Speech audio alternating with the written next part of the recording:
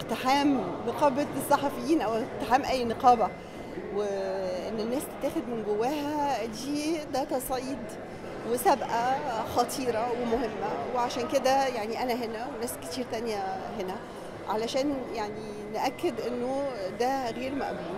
بالنسبة بقى لزمايلنا المعتقلين طبعا يعني هي دي إشارة الحقيقة على أهمية الدور اللي الصحافة مفروض إن هي تقوم بيه. يعني إن الصحافة هي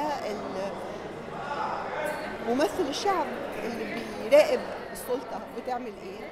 ومفروض إنه يعني الإعلام هو رادع للسلطة وبيخلي السلطة تتصرف في حدود معينة.